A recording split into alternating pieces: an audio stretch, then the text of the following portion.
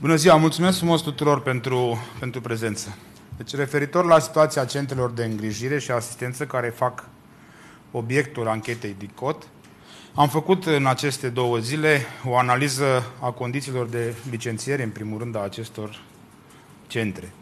Trebuie să vă mărturisesc că, în calitate de vechi lucrător în asistență socială, încă din anul 1995, sunt efectiv șocat și indignat de ceea ce am văzut la televizor și de ceea ce uh, tot apare zilnic în presă prin acele uh, stenograme.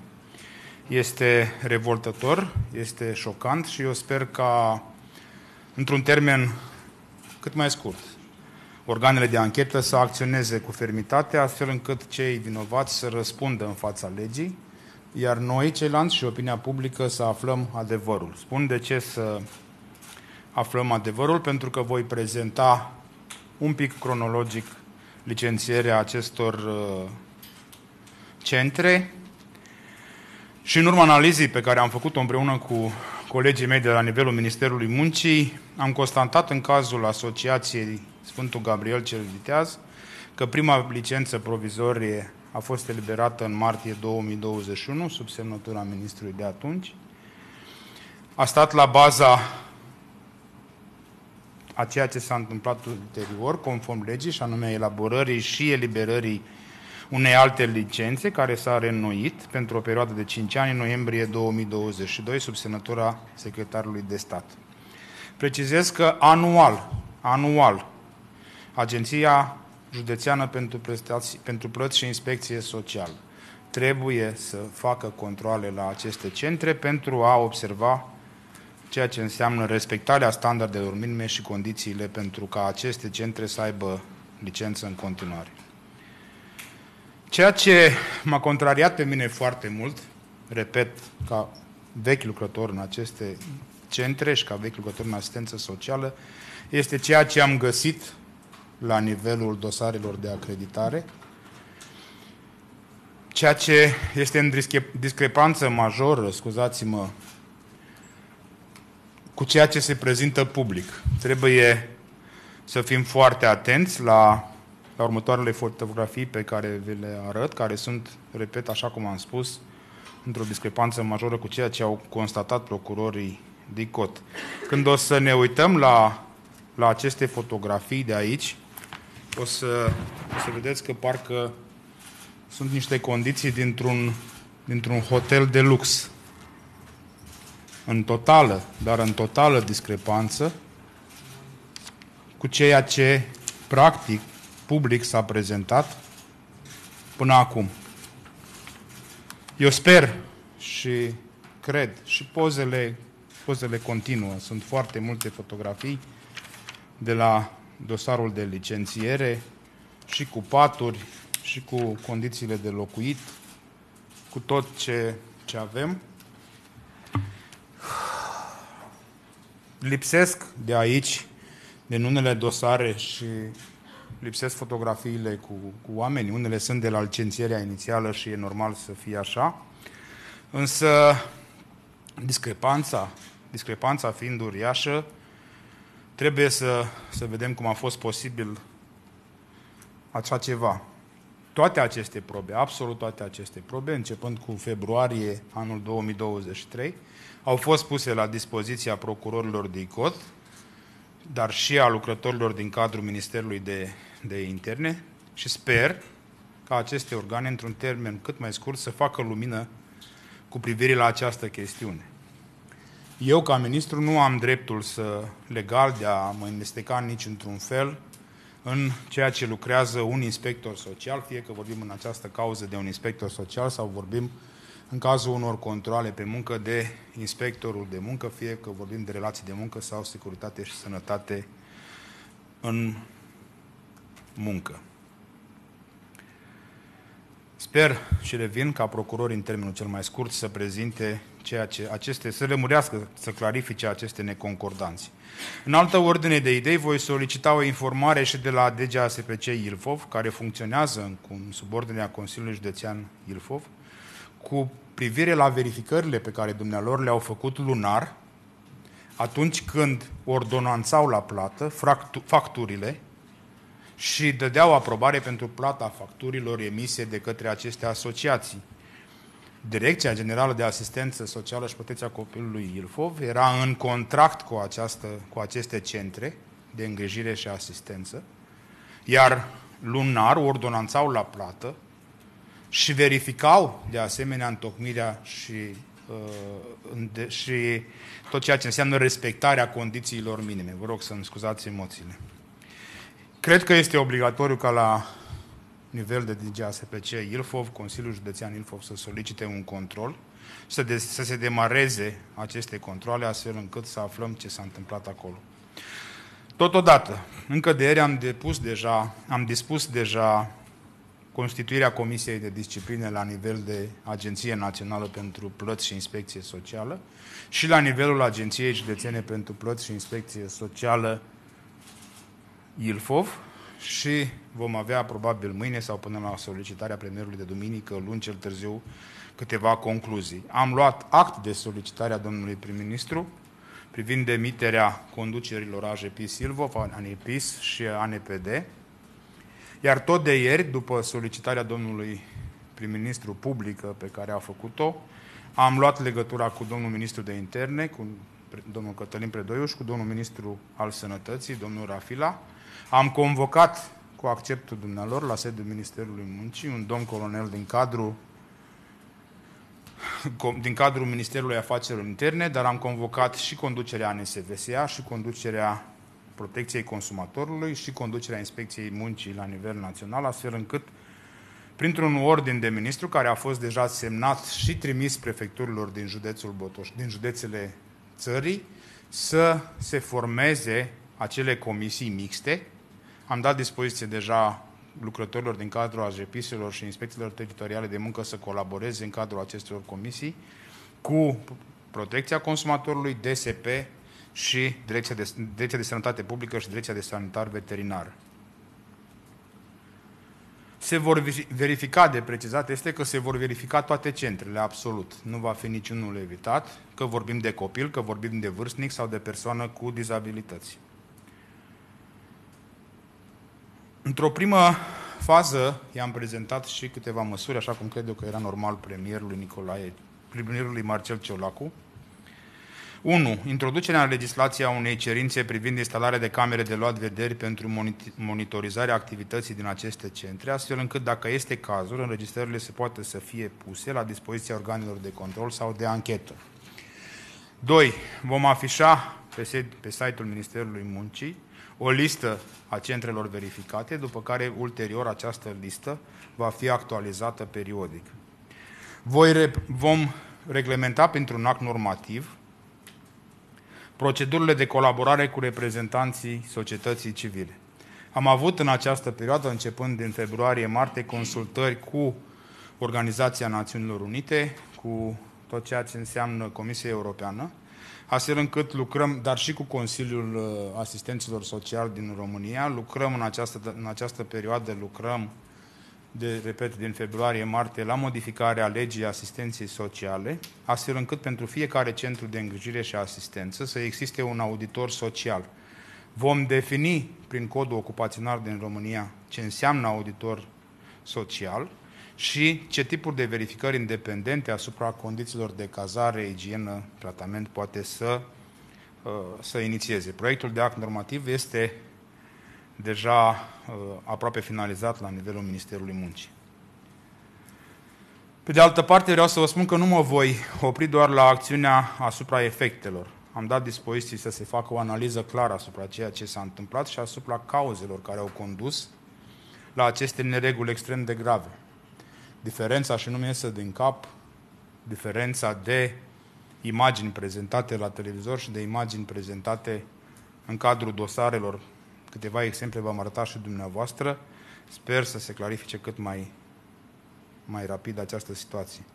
Am văzut de asemenea din cadrul rechizitorului de cod că începând cu anul 2020 s-ar fi constituit acest grup infracțional aflat în prezent în, în, în, în anchetă.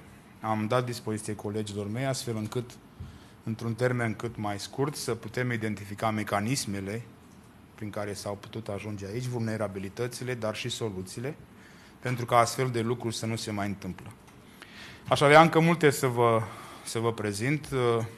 Repet, am fost șocat și sunt șocat în continuare în calitate de vechi lucrător în cadrul asistenței sociale dacă toate informațiile apărute public se vor până la urmă confirma, situația este una de netolerat și măsurile trebuie să fie dintre cele mai drastice. Vă mulțumesc frumos pentru atenție.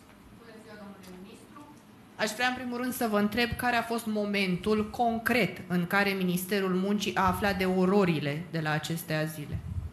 Momentul concret. Dacă vorbim de orori așa cum au fost prezentate în presă, exact de când am prezentat în presă. Dacă vorbim de acel calendar, am un, avem un calendar în care din februarie am spus, din februarie colaborăm cu cei care realizează anchetele și am pus la dispoziția dumnealor toate aceste dosare și multe altele pe care dumneavoastră le vedeți aici.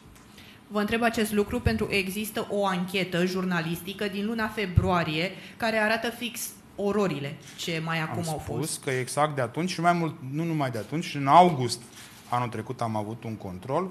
Acel control a fost pus la, la dispoziția uh, anchetatorilor, dar și rezultatele lui la dispoziția Direcției Generale de Asistență Socială și Protecția și Copilului. Și de ce nu au fost închise aceste azile, aceste centre de îngrijire? Noi nu avem posibilitatea să le închidem. Noi punem la dispoziția celor care furnizează servicii sociale și care contractează servicii sociale conform legii care sunt de GASPC-urile, informațiile.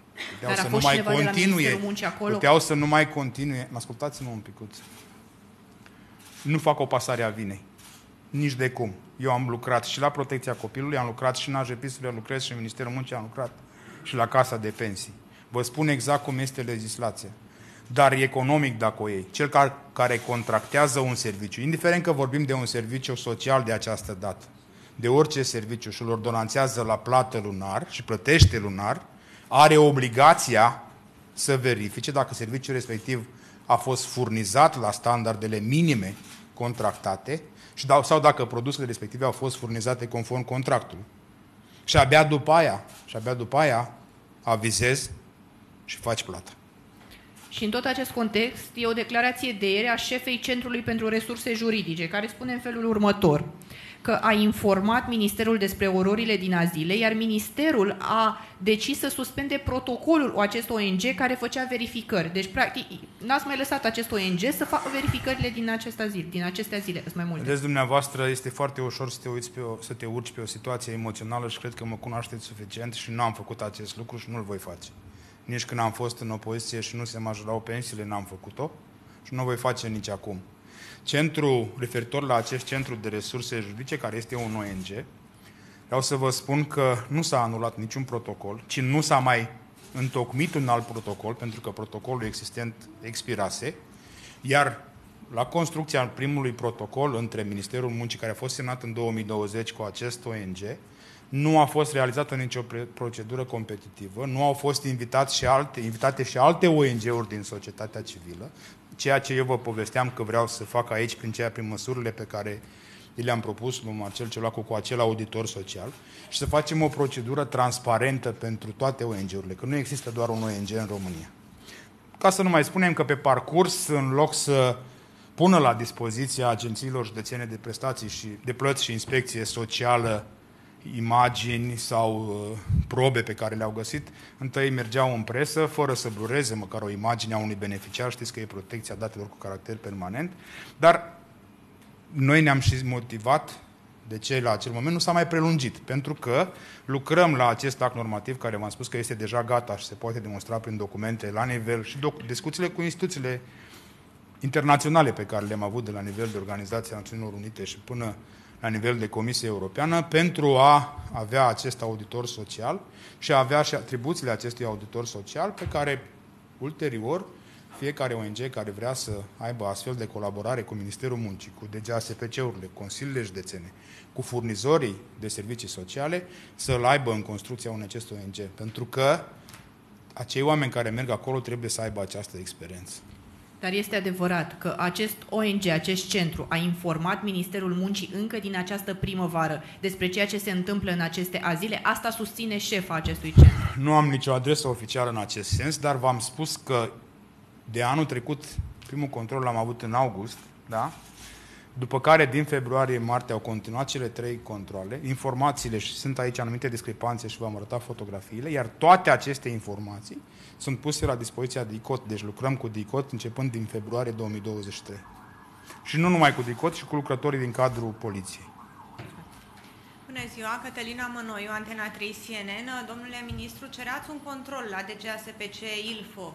Acolo însă șeful acestei instituții este trimis în judecată de anul trecut pentru că a oferit informații sensibile din dosarul unui copil care a fost violat, iar aceste informații au mers către infractori. Deci asta face șeful instituției. Dumneavoastră ce vreți să vedeți în urma acestui control? Ce așteptări aveți? Și cum e posibil ca o astfel de persoană trimisă în judecată pentru asemenea fapte să conducă instituția? Este o întrebare bună pe care cu siguranță cred că o să o adresați și președintelui Consiliului Județean Ilfov, indiferent de la ce partid el, nici nu știu la ce Cu partid de siguranță, acum. da. Însă, dacă eu aș fi fost președintele Consiliului Județean Ilfov, acea persoană nu mai era acolo. Era cel puțin, pentru că un proces până la final nu este vinovat, dar cel puțin pe durata procesului, atunci când vorbești de copii, este impardonabil. Trebuia să fie suspendat. Îmi doresc să aflu de la acest control cum au fost acceptate la plată fractur, facturile lunare, cum au fost confirmate executarea acestor servicii, repet, la standardele contractate și la standardele prevăzute. Este un ordin de ministru din 2019, când am actualizat standardele minime de calitate. Întâmplător eram tot eu atunci, am avut această onoare. Domnule ministru, când prim, care este procedura? Vă rog să ne explicați. Când primiți acele dosare cu fotografii, nu merge cineva să vadă dacă ele sunt conforme cu realitatea? Exact asta am spus. Vă mulțumesc frumos că îmi dați posibilitatea să clarific din nou. Este o primă avizare, o, o primă solicitare unde la dosar se pun de către cei care solicită această licențiere, în primă fază o licențiere, uh, o licențiere care nu este permanentă, Scapă cuvântul acum, sunt extrem de indignat în, în, în licențeță provizorie. Mulțumesc frumos. Uh, După care, bineînțeles, că pentru a putea lucra și inspectorul de aia sunt contrariat de... și de aia am, am făcut apel și public acum la DICOT și de aia le-am și pus la dispoziție dosarele, pentru că imaginile de aici sunt în totală contradicție cu ce s-a prezentat public. Sigur că și inspectorul merge, dar respect, repet, nici măcar acum că am solicitat și vom solicita și demisia directorului de la JPIS, de la Ilfov, dar acel inspector social nu te poți amesteca în ceea ce el pune acolo. Abia atunci când se întâmplă astfel de cazuri. Dar el răspunde pentru ceea ce instrumentează în dosar, de fotografiile pe care face, de constatările pe care le face. Dar, repet, lucrurile sunt dublate, nu sunt lăsate numai pentru un om. Pentru că acel serviciu social a fost contractat și, repet, poate o să credeți că obsesiv o să spun standarde minime. Sunt stabilite niște standarde minime să poți să ai astfel de, de, de posibilitatea să prestezi astfel de servicii sociale. Cum s-au verificat în momentul plății și cum s-a aprobat ordonanțarea la plată și plata e efectivă dacă noi vedem ce vedem în public. Deci aceste lucruri cred eu că vor fi și trebuie să fie clarificate de DICOT. Domnule ministru, dar dacă de anul trecut era la șefia DGASPC Ilfov o persoană care avea astfel de probleme, care a pus în pericol ancheta unui copil violat, de ce nu s-a îndreptat atenția către acea zonă, către acea instituție? Pentru că sunt mai multe centre acolo. În momentul de față, oamenii nu știu dacă Repet, problemele Ministerul pe care Muncii le-ați nu găsit este aici... în coordonarea și nici în subordinea DGASPC-ul nu este nici în coordonarea, nici în subordinea Ministerului Muncii. Corect, dar totuși există... Este la este Consiliul într-adevăr- Județean. Dar aveți aceste verificări, aceste autorizări Aceste pe care verificări le faceți. fac la centre. Eu nu fac o verificare la uh, șeful de GASPC-ului, la acuzațiile pe care Și centrele altele nu le trebuiau aduc. să fie verificate mai au fost temeinic? verificate, asta spun, asta este și contradicția mea. Mă uit în dosarele pe care vi le arăt și văd ce văd la televizor. Trebuie clarificat ce a fost acolo. Pentru că una vedem în dosarele și în instrumentările care au fost realizate aici. Vă, vă arăt fotografiile din nou. Domnule Uitați-le. ministru, Dar statul român nu are suficiente structuri încât să verifice dacă ce există într-un dosar care ajunge pe masa unui minister este în acord cu realitatea. Înțeleg că este un inspector pentru că, peste care nu s-a putut trece, dar alte Pe structuri lângă n-ați inspectorul... avea alte Nu, informații, acum poate. ori nu m-ați urmărit, ori n-am fost eu destul de Vă clar. rog. După obținerea licenței, este contractat serviciu social lunar, managerul de caz din cadrul DGASPC, indiferent din care județ, are obligația să verifice condițiile și atunci când se aprobă plata să pună o semnătură. Există organe, ori nu și-au făcut treaba, ori informații. Deci nu pot, este o anchetă IDICOT. Eu n-am, nu am nici la tot dosarul DICOT acces. Eu ce am, vi le-am prezentat cu transparență. Mai sunt și multe alte dosare, am venit cu câte am putut să aduc aici pe masă. Bună ziua, mă rezult pe Euronews. A spus și dumneavoastră, s-a făcut un control inopinat în luna august anul trecut de către reprezentanți ai ANPIS la aceste centre de îngrijire. Atunci s-au găsit, potrivit acestei informări, uh, situații grave legate de hrană, de alimentație, de condițiile de cazare. Cu toate acestea, reprezentanții ANPIS atunci au decis uh, doar Uh, să atrag atenția acestor centre să remedieze situația până în luna decembrie. Mă uit însă pe activitatea ANPIS, pe planul acestei instituții pe anul trecut. Am văzut că au fost uh, două campanii, o campanie pe, uh, în luna martie, în lunile martie-mai, la nivelul mai multor centre. Anul acesta. Centre, anul, anul acesta. acesta. Așa. Acolo, la final, s-au dat patru recomandări de retragere a licenței. De asemenea, o altă activitate pe acest gen, tot așa s-au verificat sute de centre, atunci s-au dat 20 de recomandări de retragere a licenței. Nu, sunt 20 de sancțiuni contravenționale. Acelea, da, dar au fost sunt. recomandări făcute să se retragă licența de funcționare a acelor centre. Dar nu vorbim de aceste centre. Tocmai de aceea vreau să înțeleg de ce în cazul acestor centre, deși s-au identificat încă din luna august, așa cum a spus dumneavoastră, situații grave la, existente la nivelul acestor Cele... centre de îngrijire, cel puțin la acela din voluntari, nu s-a venit cu o recomandare similară de retragere a licenței de funcționare. Exact asta verific acum prin comisia de anchetă pe care am format-o de ieri. Exact asta verific.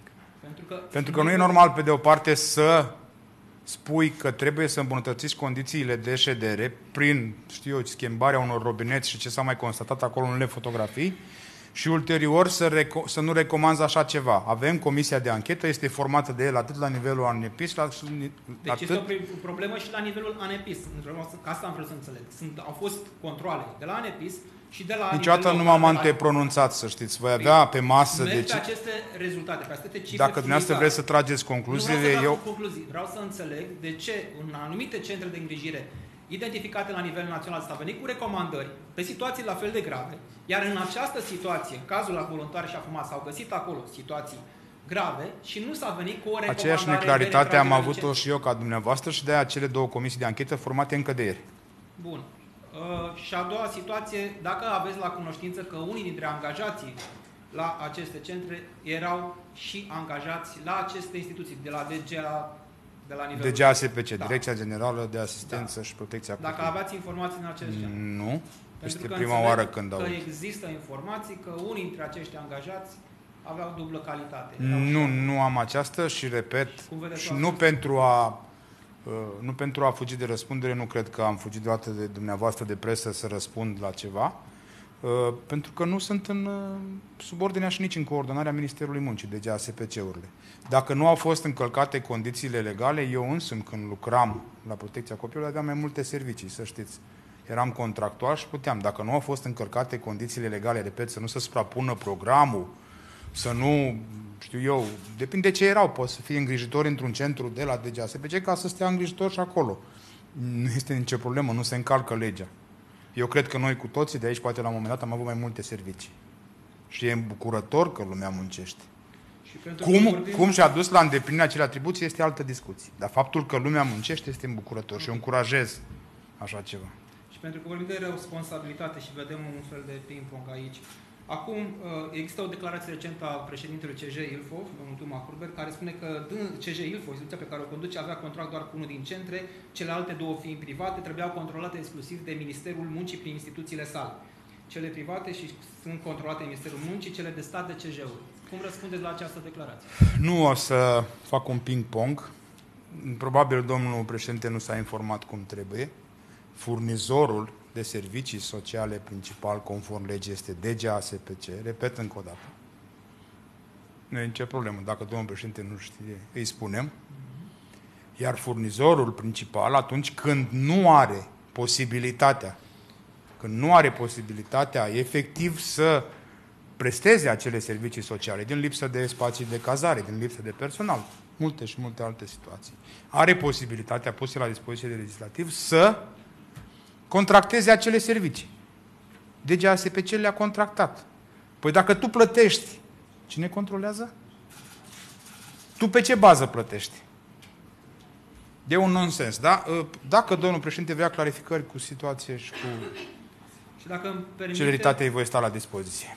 Îmi permiteți, aveți o, o statistică clară în momentul de față. Câte centre de îngrijire de stat există la nivel național și câte private?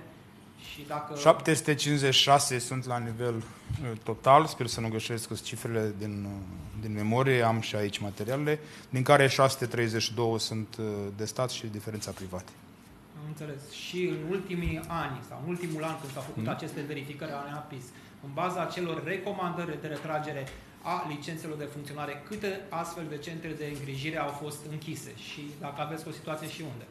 Nu, n-am această situație acum la mine. Eu caut pe aia să fiu sigur că n-am, n-am greșit, dar dacă cumva am greșit din memorie, o să revin la dumneavoastră cu cifrele imediat după.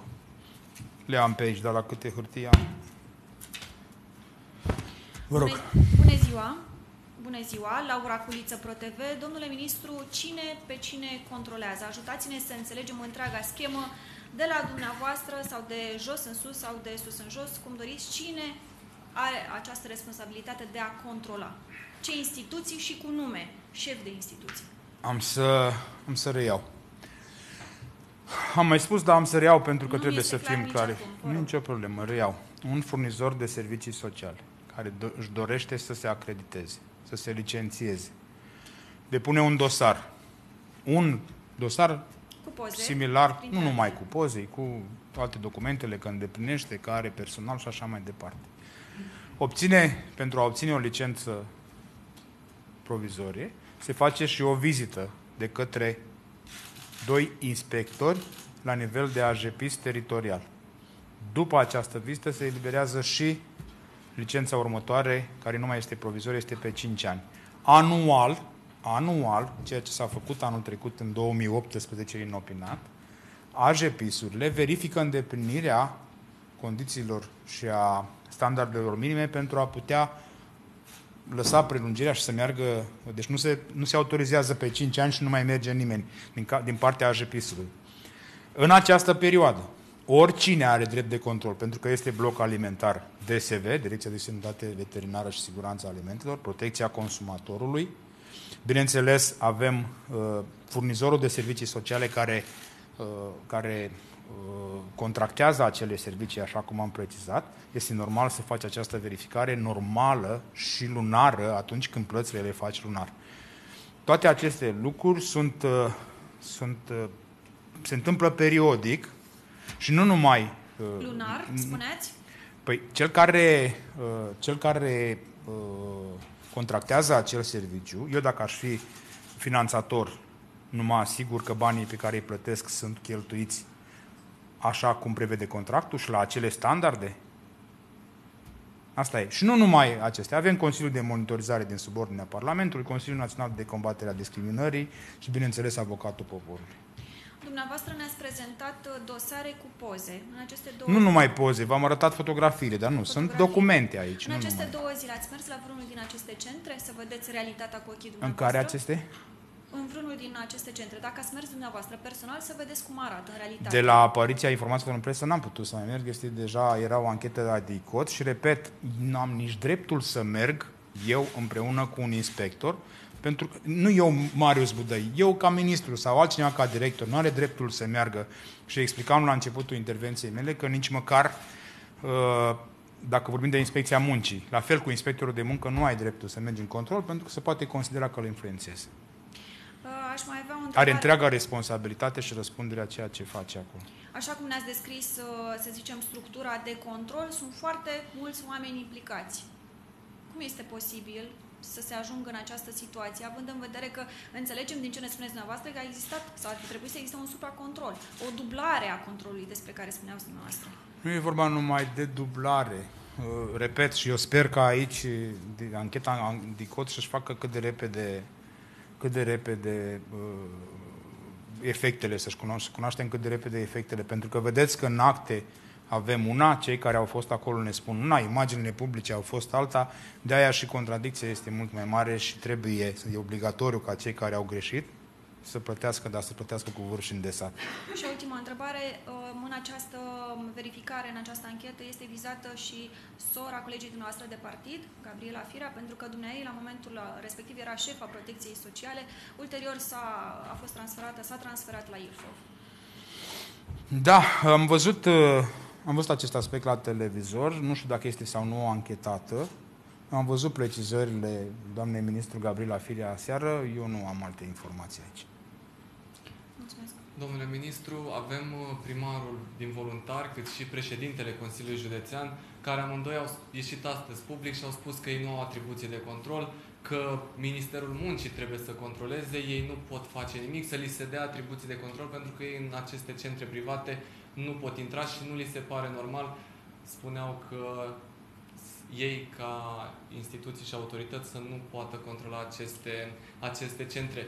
Din nou, dumneavoastră tot, ați tot lăsat în aer răspunsul în care ați spus dacă încearcă sau dacă dorește președintele Consiliului Județean să știe cum se controlează, să... Nu am spus asta, cred că nu m-am făcut înțeles. Și deci... îmi cer scuze pentru asta, un picuț. Vă rog, e posibil să greșesc. Pentru că situația este extrem de contraria, de contrar a ceea ce eu am văzut în asistență socială până acum. Și nu-mi închipui cum niște documente și în realitate să se întâmple lucruri diferite. Eu nu am spus că îl voi învăța pe președintele Consiliului Județean cum să controleze. Eu am spus și spun și acum, fără a păsa vina pe nimeni, că cel care ordonanțează, cel care contractează un serviciu sau o furnizare, eu la un moment dat, la Protecția Copilului Botoșan, dacă făceam un contract de achiziție de produse de oricare fel, răspundeam atunci când eu semnam și spuneam, da, acele produse au fost aduse conform contractului. Asta am spus. Deci nu, eu nu pasez vina pe nimeni. Eu spun și am spus foarte clar ce atribuții are Ministerul Muncii, unde și până unde putem. Am spus și, con- și unde sunt contrariat în atribuțiile Ministerului Muncii.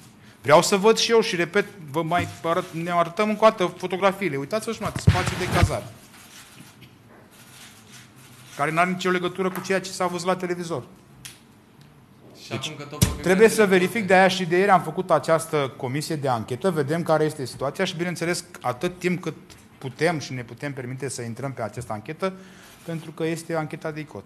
Deci președintele Consiliului Județean ar trebui să fie și el parte din răspundere. Niciodată nu o să mă urc pe asemenea emoție să spun că cineva este mai vinovat decât altcineva. Sunt organele statului care trebuie să-și facă datoria. Bun, și ne-ați arătat acum un dosar cu poze. Nu numai unul, am mai multe aici. Da, da, inspectorii când merg în control, ei se uită și la oameni sau se uită doar la acte, se uită, fac niște poze și merg mai departe? Sunt atribuții împărțite, vin și vine, vin persoanele, Agenția pentru Persoanele cu Dizabilități, care inspectează și oamenii, bineînțeles, care, uh, tocmai pentru că în unele lucruri și în unele locuri, și nu numai aici, avem un centru la Bihor, dacă mi-aduc bine aminte din raportul președintelui persoanelor cu dizabilități, uh, Agenției pentru Persoane cu Dizabilități, unde s-a făcut chiar și plângere penală.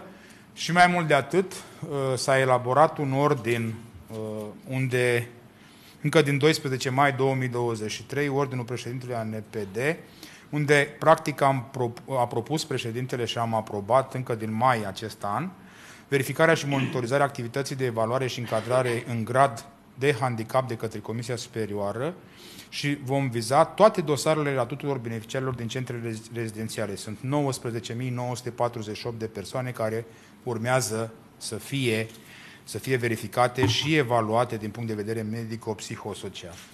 Am înțeles, pentru că vedeam că în poze nu au apărut și cei care care erau acolo îngrijiți și de asta vă Să știți că eu am uh, și câteva fotografii cu persoane cu dizabilități, dar nu pot să prezint public și din cauza... în momentul în care au apărut acele fotografii, când au fost aduse dosarele și probabil există oameni care controlează ceea ce au controlat inspectorii. Se vedeau acei oameni în Putem merge pe un lanț în care să spunem că punem un controlor peste un controlor, încă un controlor peste alt controlor. Nu merge așa pentru că nu o să avem suficienți oameni. Avem oameni care au responsabilități, dar peste aceste oameni sunt alte instituții și tocmai le-am le-am enumerat pe cele care au drept de control, ca să nu mai vorbim de uh, ISU, DSP, DSV, protecția consumatorului. Deci sunt instituții care trebuie să, să, să-și facă datoria.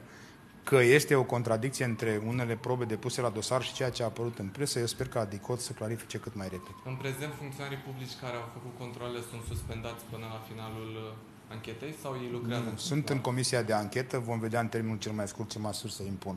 Nici o măsură din punctul meu de vedere și nici legal și nici profesional, nu se uh, impune decât atunci când sunt clare uh, uh, cazuri de infracționalitate, o, o dispui imediat, dar trebuie să ai această comisie deci, de anchetă. s-au cerut uh, destituiri dacă nu se cer și suspendările celor care au participat? Comisia de anchetă face acest lucru. Comisia de anchetă, în termenul cel mai scurt, propune niște măsuri. Am înțeles și dumneavoastră ați spus că AGPIS oferă licența pe 5 ani de zile și trebuie să meargă în control uh, o dată pe an. În sine, acela este un dosar uh, al unui control pe an sau... Nu, este dosarul de licență, după care vin este dosarul de licență inițială sau de licență provizorie, cum spune legea, după care vine, nu am precizat acel dosar care a început în 2021, după care vine cu licența provizorie, licența permanentă și controlele anuale care se fac ultima dată, ultimul control a fost în august 2000. Ce se verifică mai exact?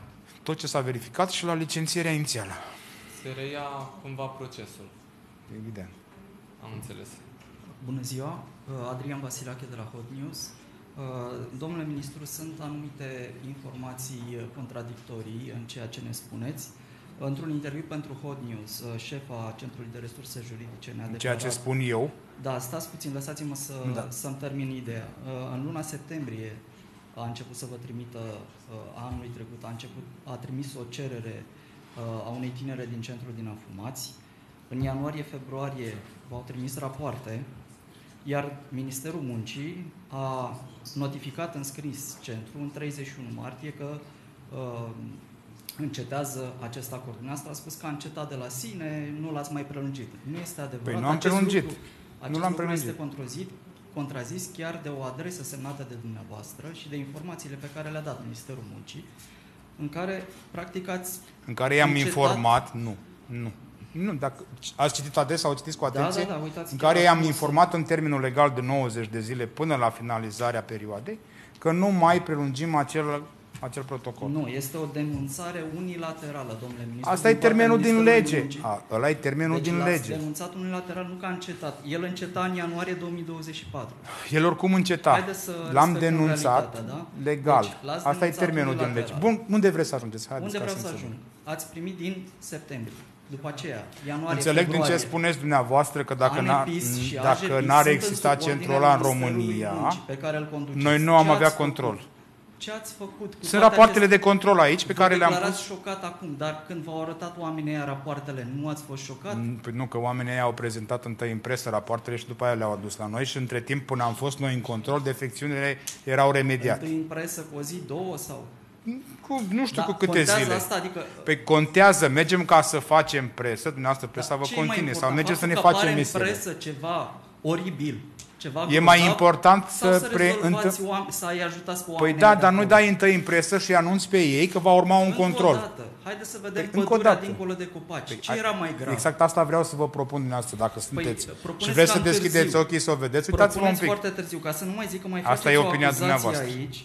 Spuneți că, uh, ca motiv de denunțare unilaterală, existența unor situații care au fost sesizate de-a lungul timpului de către directorii DGASP, în care reprezentanții CRJ au pretins că sunt angajații Ministerului Muncii. Cine uh, Avem... Sunt niște acuzații grave. Cum le probați? Le probăm cu ce există în spatele acestor solicitări. V-am spus că nu m-am ocupat eu ce personal de Ce Ce au semnalat asta de-a lungul timpului? Că... Voi prezenta public. Nu am acum această Voi... informație la mine. Okay. Dar uh, repet ca să ne înțelegem un picuț, pentru că vreau să înțelegem foarte clar și nu vreau să depășim momentul. Pentru a putea avea viteză de reacție. Și repet, s-a întâmplat acest caz și v-am prezentat că îmi doresc să avem mult mai multe ONG-uri implicate în această activitate, pe o documentație care deja există în Ministerul Muncii de dinainte de a apărea acest scandal public și se poate proba cu documente, să avem mult mai multe, mult mai multe ONG-uri care să îndeplinească condițiile și să vină în această activitate, nu doar un contract al unui ministru oarecare, nu contează care, cu o sing- un singur ONG. De ce unul singur în România? E, e relevant pentru E relevant. E, e foarte Oamenii relevant. Poate mai sunt și alții. Ascultați-mă un pic că spun la capăt. Am avut răbdare să vă ascult. Este situația extrem de complicată, putem să ne urcăm oricare dintre noi pe emoție și să condamnăm și să facem. Emoție, Eu vă spun în felul următor. Bun. Ce este, cum este, anunț la televizor, ca să-și aibă timp omul ăla să-și remedieze acele defecte, pentru că urmă, e clar că după, după aia va veni control. la televizor, v-ați dus în control acolo? Ați evident, evident sunt rapoarte de control. Evident că sunt rapoarte de control. Păi nu le am pe toate la mine aici. o situație, să vedem și noi ce ați solicitat în urma rapoartelor CRJ? Domnule, am solicitat anepisului să se ducă de urgență. Cum vă spun, imediat. Okay, au imediat. făcut uh, aiurea, au dat în presă mai întâi, dar noi am luat uh, uh măsuri. Imediat vă spun. Ce măsuri ați Imediat vă spun, au fost, s-au amestecat un pic hârtiile aici, dar vă citesc din, uh, din memorie, au fost controlate peste 500 de centre din cele 756, s-au dispus 1871 de măsuri, S-au verificat. Că nu ne-ați dat. Ne-ați dat comunicat ieri cu controlele. Păi da. Dar nu păi acum mă întrebați dacă am făcut ceva și acum nu vă convine dacă vă spun că am făcut ceva. Astea, domnule ministru. La centrele astea s-au făcut controle, am prezentat chiar în preambulul discuției mele, încă din februarie, și s-au prezentat acele documente către procuratură, DICOT, MAI și așa mai departe. Uh, premierul v-a solicitat să demiteți astăzi conducerile ANEPIS și AGEPIS, care se află în uh, subordinea Ministerului. Am spus și în prezentare că am luat caz de această solicitare, când voi pleca de aici, voi duce la îndeplinire. Cine sunt uh, oamenii aceștia care vor fi demiși? Din păcate, dacă vorbim de președintele Agenției Naționale pentru, pentru Persoane cu Dizabilități, este o persoană nevăzătoare cu care eu am lucrat foarte mult. Este răspunzătoare pentru ceea ce s-a întâmplat sub mandatul lui.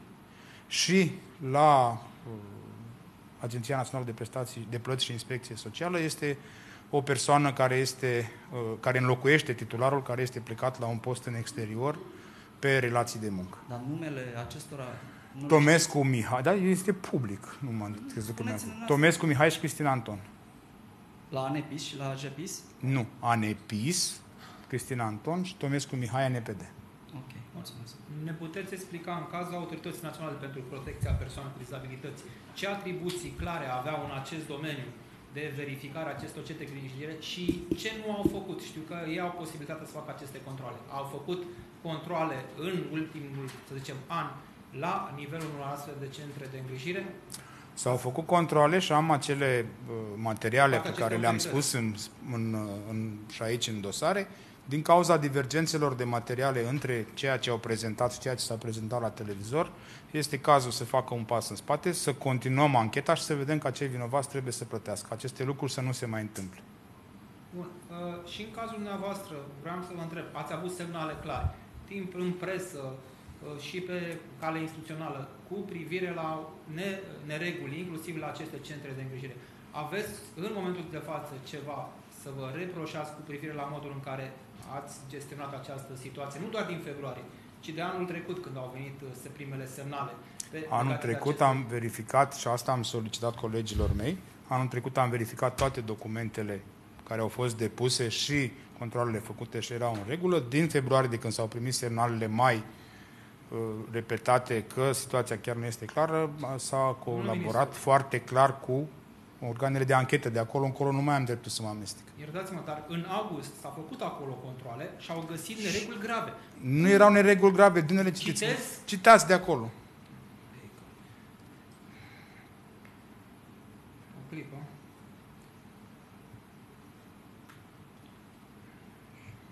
vă spun eu ce s-au făcut da, pentru angajări. S-au făcut niște recomandări pentru a completa schema de personal, s-au făcut niște recomandări pe niște reparații și niște recomandări privind foaia de alimente pentru alimentație. Astea au fost recomandări. Paturile care nu erau în regulă. Astea spun de, pentru, astea spun de, de reparații. Asta spun de reparații. Paturile, alimentația sunt pro, principalele probleme legate de modul Nu are dreptul, AJPIS-ul nu are dreptul să închidă acel centru. Nu are dreptul să propună recomandare de a propus de licență. recomandări, dar a propus recomandări de remediere. S-a propus recomandări de remediere. Doar de remediere. De-aia mă întreb. Avea posibilitatea, ținând cont de gravitatea faptului găsite încă din august, să vină cu această... După cum vedeți, asta sper să se clarifice cât mai repede prin ancheta de ICOT, pentru că probele pe care le am la dosar și imaginea apărute publice sunt total diferite. Domnule ministru, ați spus de comisii mixte la nivelul prefecturilor. Când vor începe acestea controlele propriu-zise? Ordinul este dat. Astăzi eu sper că deja toți prefecții au dat acest ordin de prefect, astfel încât comisiile să fie constituite. Și vor începe controlele când ar trebui sau când ar trebui? Voi, voi consulta un, normal și de astăzi. Din moment ce ordinul ministrului afaceri interne este în, în vigoare și au dispoziție să formeze acele comisii, am înțeles. Domnule ministru, au trecut câteva zile de la acele imagini groaznice care au fost difuzate. Dumneavoastră, în momentul de față, puteți garanta public că, aceea, că situația de la acele azile nu se repetă în prezent și în alte centre, fie că și centre pentru bătrâni, fie că și centre pentru copii? Dacă ar fi toate în responsabilitatea Ministerului Muncii, da, aș putea să garantez așa ceva, dar tocmai am explicat și avem, cred că, o oră și cea de când explic, mai stau o oră și ceva, că nu a contractat Ministerul Muncii acele servicii. De câte ori să spun să se înțeleagă? Și cine ar putea, domnule ministru, să dea aceste garanții? O luăm de la capăt, nu e nicio problemă. Direcțiile Generale de Asistență Socială și Protecția Copilului, cei care contractează astfel de servicii, sunt în subordinea Consiliului Județeni. Statul are capacitatea de a garanta că astfel de situații nu se mai repetă? Evident, prin ceea ce facem acum, prin această comisie, cu siguranță vom avea și analiza posibilității de cum s-a întâmplat așa ceva și să prevenim să nu se mai întâmple. Asta, de fapt, este scopul. Domnule ministru, o lămurire, ce, uh, ar, ce măsuri administrative ar putea fi luate împotriva celor care vor fi găsiți că nu și-au făcut treaba, pentru că este clar că este o foarte multă lume nu și-a făcut treaba. Este și comisie de anchetă în cadrul de disciplină, în cadrul, în cadrul anepisului și azepisului și aștept concluziile și să vor veni și măsurile ulterior, iar măsurile la nivel penal le vor propune, bineînțeles, procurorii DICOT. Am înțeles. Uh, ați vorbit despre defecte.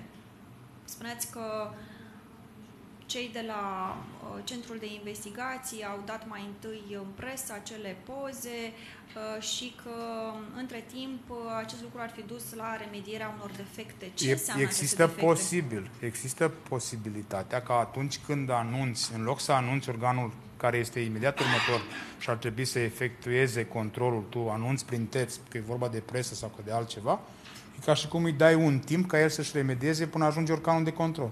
Sunteți supărat că s-a întâmplat acest lucru? Nu sunt supărat pe nimic, eu sunt supărat că s-a ajuns aici cu acești oameni. Asta este supărarea cea mai mare. Nu modul cum a controlat și cum a făcut. Și repet, nu s-a prelungit acel acord cu acel ONG. Aia nu înseamnă că acel ONG următor, după ce dăm, elaborăm această documentație, nu poate să vină să-și facă auditor social, să participe, să demonstreze că are capacitate. Nu are nimeni nimic cu acel ONG. Din contră, îmi doresc să fie mai multe ONG-uri, nu doar unul singur. De ce unul singur? Dacă vorbim de un singur ONG cu care Ministerul ar trebui să aibă acest, acest contract sau acest protocol de colaborare, de ce ONG-ul X și nu ONG-ul Y? Putem dezvolta. Nu mi-ați răspuns la întrebare ce înseamnă defect pentru dumneavoastră. Ați vorbit despre defecte, ceea ce am văzut noi la televizor. Păi, defecte, defecte sunt acele recomandări care vin. Lipsă de foaie de alimente, normă de hrană insuficientă, uh, spațiu de cazare incorrect. Astea sunt defecte. Sunt, de fapt, condiții oribile, de, nici, nu sunt, nici nu pot fi catalogate. Nu Eu le-am definit defecte. Cum le definiți dumneavoastră, e, e bine așa cum le definiți. Eu m-am referit spunând despre o anumită activitate sau inactivitate, că pot să iau și inactivitate, pentru că în contractul de colaborare cu Ministerul Muncii, ori acel ONG, ori oricare altul, are obligația prin contractul de colaborare să pună la dispoziție informațiile cu celeritate și cu întâietate către instituții. Domnule ministru, ultima întrebare. Acum că știm că există posibilitatea ca problemele să fie rezolvate în momentul în care sunt anunțate Uh, controlele dinainte, așa cum s-a întâmplat, cum spuneți că s-ar fi putut întâmpla, atunci nu încercați să vă asigurați că acele controle din comisiile mixte vor începe de astăzi să nu lăsăm trei zile lucrurile să poată fi rezolvate de ochii controlelor? Va fi o activitate permanentă. Eu sper ca de la acest control întâi să învățăm unde s-a greșit, ce avem de făcut, poate avem de modificat și ceva legal, ca astfel de lucruri să nu se mai întâmple. Dar vi se pare normal să înceapă controlele de astăzi? Dacă se pare fost... normal să înceapă cât mai repede. Vă veți asigura, veți încerca, veți da un mesaj, veți încerca să... Am să discut cu domnul ministru de interne, prefecții nu sunt la Ministerul Muncii, după cum bine știți. Deci veți discuta cu domnul ministru Evident. de interne să... Am discutat și ieri și astăzi și voi discuta și când ies de aici. Bine, vă mulțumim. Mulțumesc. Mai intră? Radu, mai intri? Mulțumesc frumos!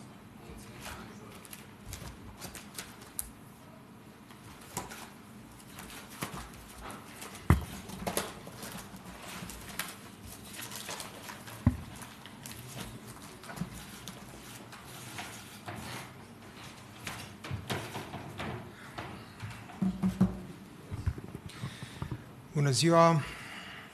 După această discuție care a fost extrem de încărcată, emoțional de tensionată, e destul de greu să vii și cu o veste bună, dar eu vreau să vă vorbesc despre faptul că ordonanța de urgență pentru aprobarea uh, și finanțarea programului național pentru dezvoltarea producției interne de produse și materiale de construcții, programul Construct Plus, a fost astăzi aprobată în ședință de guvern.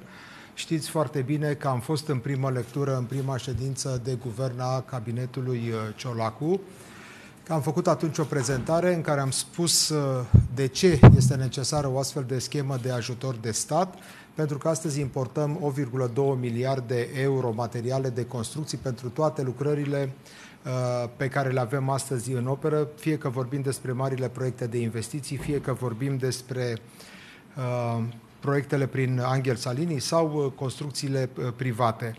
Uh, astăzi, constructorii au ajuns să determine creștere economică și o poziție de 6,3% din PIB ca și valoare, ca și pondere a acestei industrii. Am mai găsit o cifră interesantă care, prin comparație cu anul, spre exemplu, 2019, când importam 6,2 miliarde de euro, azi avem 2 miliarde în plus, ceea ce arată dezvoltarea și dinamica sectorului de construcții, pentru că, din păcate, în această perioadă n-am produs mult mai mult în România. Deci ceea ce ne dorim este să echilibrăm balanța comercială, ne dorim să dezvoltăm noi capacități de producție în zonele defavorizate, ne propunem să sprijinim achiziția de licențe, de brevete, să stimulăm proprietatea intelectuală, astfel încât și constructorii români să fie mai implicați în partea aceasta de uh, cercetare-dezvoltare pe materiale noi, pe materiale care sunt cerute uh, în conformitate cu noua, uh, cu orientarea Comisiei Europene de a fi mai verzi și atunci ciclul trebuie să fie de producția materialelor să fie de asemenea unul integrat în economia circulară. Uh, este o schemă de ajutor de stat cu uh, multianuală, cu o valoare de 150 de milioane de euro pe an timp de 4 ani, pentru că aceasta este posibilitatea în acest moment de a aplica pe regulamentul 651 uh, din 2014, astfel încât să nu fie necesară o notificare a Comisiei Europene și să putem avea acces la aceste fonduri începând cu acest an. Uh, avem uh, o anexă uh, la ordonanța de urgență cu codurile CAEN care răspund acestui uh, regulament european 651. Am avut discuții atât împreună cu, cu prim-ministrul Marcel Ciolacu la guvern, cu principalii constructori din țară, pentru că ei sunt utilizatorii acestor, acestui program, până la urmă ei sunt beneficiarii, să vorbim despre necesitatea de a avea produse Uh, materiale de uh, construcții produse în România. Răspunsul a fost că da, inițiativa este foarte bună pentru că în foarte multe dintre uh, proiectele lor durata aprovizionării este unul din factorii care produc întârzieri în execuția proiectelor respective și atunci este o idee extrem de bună. De asemenea, am avut o întâlnire la sediul Ministerului cu patronatele din zona materialelor de construcții, Uh, ca să înțelegem uh, mai bine și să explicăm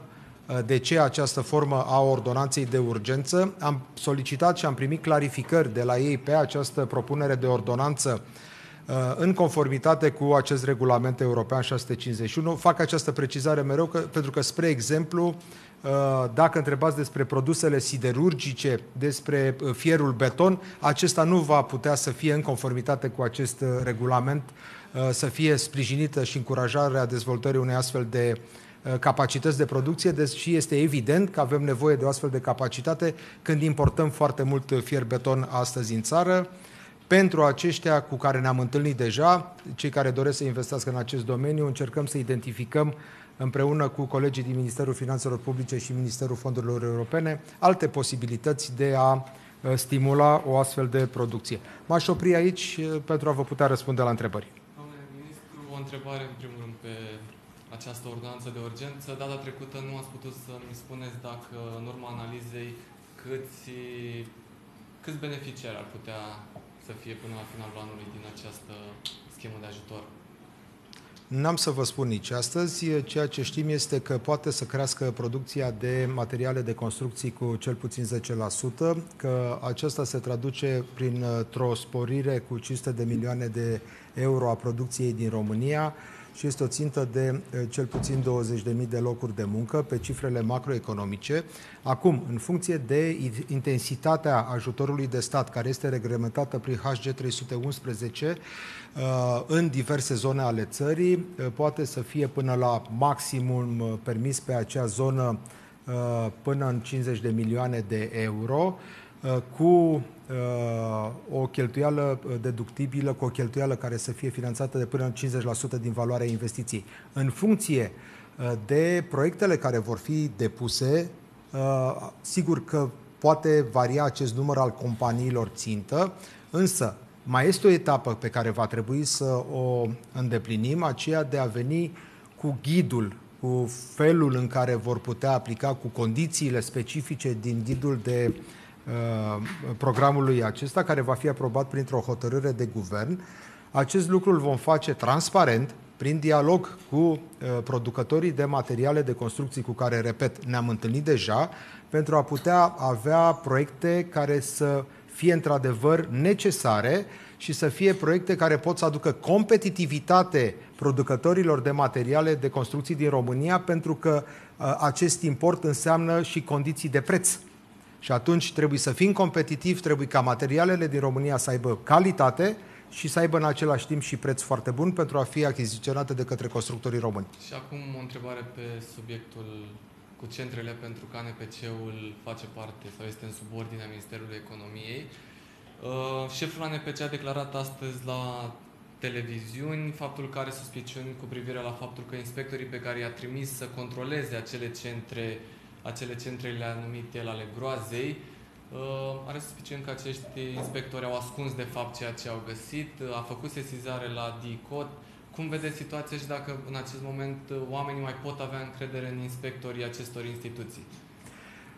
Este evident din ceea ce a prezentat și colegul meu, Marius Budoi, că există foarte multe contradicții între documentele oficiale pe care le-au primit, fie la Ministerul Muncii, fie alte uh, instituții care pot controla și au dreptul de control astăzi în România, se desfășoară această uh, anchetă a DICOT-ului. Îmi doresc și eu, așa cum își doresc uh, și ceilalți colegi din cabinet, ca această anchetă să se desfășoare cât mai repede, să aflăm adevărul împreună și mai am o dorință pe care, sigur, uh, sper să nu fiu pedepsit că voi mărturisi public, este că atunci când uh, un astfel de caz ajunge în instanță, pedepsele care să fie exprimate Uh, este o opinie personală, nu încerc să influențez sub niciun fel actul de justiție, dar tare mi-ar plăcea să văd că, într-adevăr, cei care au greșit într-un mod flagrant, uh, bătând joc de, de viața oamenilor, să simtă că, într-adevăr, există o autoritate morală și de judecată în statul român. Domnule ministru, mă scuzați, trebuie să fac o completare. Este deja a doua oară când un șef de instituție publică care are în atribuții controlul dacă anul trecut șeful ANAF spunea că anumiți inspectori din subordine nu fac controle cum trebuie și nu și asumă responsabilitatea, vedem acum din nou un alt șef de instituție care are în subordine inspectori care ar trebui să facă controle în uh, bunăstarea clientului sau în bunăstarea celui care beneficiază de acele servicii și întreb, mai pot avea românii încredere în acești funcționari publici care vedem că din ce în ce apar tot mai multe scandaluri cu privire la inspecțiile pe care le fac? Acesta este rolul uh, managerilor, liderilor uh, anumitor instituțiilor uh, respective, aceea de a putea să-și verifice, evalua oamenii din subordine. Îndemnul meu și voi vorbi cu președintele ANPC pe acest subiect este ca atunci când are uh, uh, o lipsă de încredere în uh, ceea ce uh, îi furnizează anumiți oameni din subordine, să folosească toate căile legale, să folosească comisiile de disciplină care pot și trebuie să funcționeze. Și dacă ne uităm uh, de foarte multe ori în evaluarea pe care o fac în interiorul instituțiilor, vom vedea că foarte mulți au ani întregi foarte bine, Uh, am avut astfel de discuții în mandatul uh, trecut ca ministru uh, al mediului de afaceri, antreprenoriatului și comerțului cu diversi directori care îmi spuneau că lucrurile nu sunt în regulă și am întrebat de ce 9 ani de zile n-au văzut o neregulă și au dat calificativul subordonatului de foarte bine. Undeva se vede că un lucru este. Mi-au spus, sunt și ei oameni, era vorba despre veniturile acelei persoane. Eu cred că astăzi cei care sunt în măsură de a evalua în interiorul instituțiilor în statul român trebuie să-și facă datoria așa cum trebuie, punând în centru cetățeanul, punând în centrul consumatorul și nu proprii uh, subordonați gândindu-se la uh, starea uh, aceluia, el, persoana respectivă în cauză, trebuie să se gândească în primul rând la el și la familia lui și să fie corect și să lucreze corect pentru a primi calificativul de foarte bine, nu este un drept doar pentru că lucrează în acea instituție. Cred că lucrul acesta trebuie să intervină ca uh, schimbare, dacă vreți, în felul în care evaluăm în interiorul instituțiilor. Lucrul acesta eu îl fac uh, și am avut această discuție cu toți uh, directorii care sunt astăzi în uh, cadrul Ministerului pentru a fi foarte clar că lucrurile intră și sunt într-o normalitate din punctul dumneavoastră și al meu de vedere, acesta de a evalua corect capacitatea fie, fiecarei persoane și felul în care își face treaba. Revenind la o problemă, am putea spune fiscal, dar și cu implicații economice, chiar în acest moment are loc o întâlnire restrânsă a liderilor partidului aflat de la guvernare, se discută, se caută soluții pentru a aduce noi surse de finanțare la bugetul de stat, toate bune și frumoase, se ia în considerare, după cum bine știți, și eliminarea acelei scutiri Uh, de la plata CAS-ului în cazul angajaților din construcții. Vreau să vă întreb dacă la nivelul Ministerului dumneavoastră ați primit deja semnale din partea uh, companiilor din construcții care ar putea fi impactul unei asemenea măsuri, dacă sunt semnale că unii ar putea să facă uh, reduceri de personal, care ar putea fi impactul unei asemenea măsuri pentru acest domeniu. Mai mult decât atât, am avut întâlniri împreună cu constructorii și cu asociațiile patronale reprezentative aici, la sediul Guvernului, împreună cu uh, primul ministru uh, Marcel Ciolacu. Uh, au ridicat această problemă și, dacă vă aduceți aminte, am fost împreună cu domnul Erbașu, care este unul dintre liderii unei astfel de asociații patronale, cea mai reprezentativă, aș putea să spun, astăzi. Atunci, domnul Erbașu a spus că, într-adevăr, înțelege că sunt niște constrângeri care au apărut în Planul Național de Redresare și Reziliență. Știți foarte bine că acea facilitate a fost introdusă de către partidul pe care îl reprezint, pentru că la acel moment cea mai mare provocare pe care o aveam era faptul că forța de muncă calificată din România pleca în Europa pentru a lucra în uh, alte state. Știam că vor veni fondurile europene și că va fi nevoie de forță de muncă calificată pentru a putea să avem ritm și uh, pentru a putea uh, semna procesele verbale de recepție la lucrările de mare infrastructură și ați văzut ritmul în care se lucrează astfel. Fără acea măsură, probabil că ritmul de astăzi n-ar fi fost uh, posibil. Uh, ca să-l citesc uh, pe domnul Erbașu, spunea că cu o anumită uh, predictibilitate a măsurilor, în sensul în care să știe mă, gradualitatea cu care vor fi retrase pentru a putea încheia contractele unde au prevăzut în oferta lor costurile pe care le au astăzi cu forța de muncă. Lucrul acesta ar putea să fie făcut.